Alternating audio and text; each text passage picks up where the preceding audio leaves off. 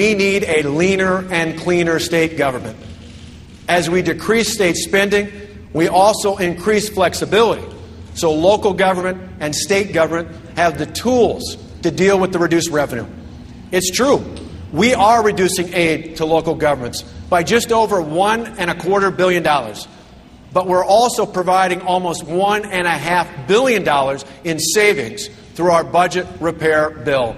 Just as we reform our entitlement programs for the 21st century, we must also reform our education system. Clearly, we have to produce graduates who are able to compete, not only with their peers from Chicago or Des Moines, but also from Shanghai or Sydney. And we must do so while we balance a $3.6 billion deficit.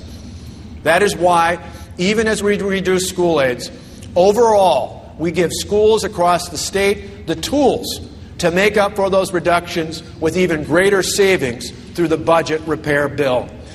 Again, this is why it's so vitally important for the Senate Democrats to come back home and do their jobs. If they do not, our schools face massive layoffs of teachers.